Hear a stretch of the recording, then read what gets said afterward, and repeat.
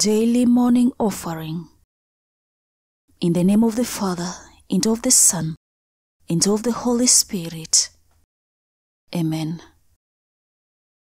My Heavenly Father, in union with the Sacred Heart of Jesus, and through the Immaculate Heart of Mary, I offer you my whole life, my prayers, thoughts, deeds, and sufferings of this day, for the intentions of his Sacred Heart, and those for which he offers himself in Holy Mass throughout the world.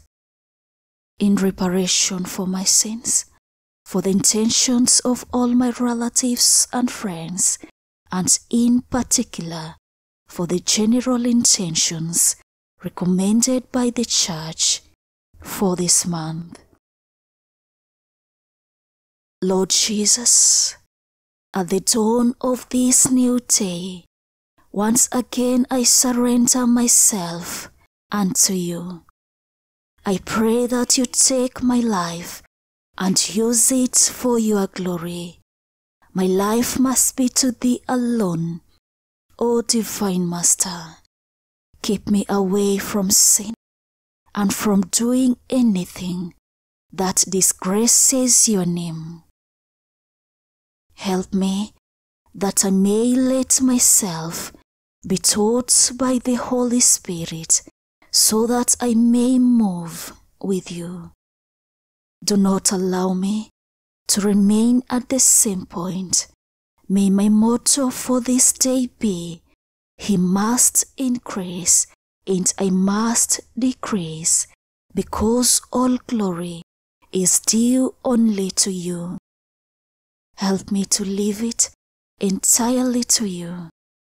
Teach me to pray about all my decisions. I'm so afraid to lean on my own wisdom, for I know, O Lord, that a man's way is not in himself, nor is it in a man who walk to direct his steps. Remind me at every moment that my body is the temple of the Holy Spirit. May this wonderful truth guide my behavior. Also, Lord Jesus, may this day be the day of your return. I look forward to see you face to face and to prostrate myself at thy feet in humble adoration. May this hope brighten my heart throughout the day so that I may free myself from anything that might hold me back here in this life and keep me alert in expectations of your return. Amen. Come, Lord Jesus. O Holy Spirit, help me to die to the world, even in favorable or unfavorable opinions of those who are dear to me. May my one and only goal be to satisfy the desires of your heart. Keep me from malicious gossip and criticism.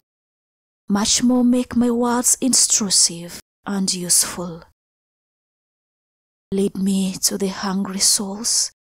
May I become like you, my Savior, a friend of sinners. Give me tears of compassion for those who are perishing. Help me to see the crowds with your eyes and to love the sheep going astray. May my love for you lead me to love them. O Holy Spirit, preserve me from a bitter, cynic, or cold attitude, whatever the circumstances might be. Guide me in the management of my goods. Help me to take care of what you have entrusted to me. Amen. Glory be to the Father, and to the Son, and to the Holy Spirit, as it was in the beginning it's now and ever shall be, world without end. Amen. Thank you all for watching and for praying with us. Thank you for supporting this channel.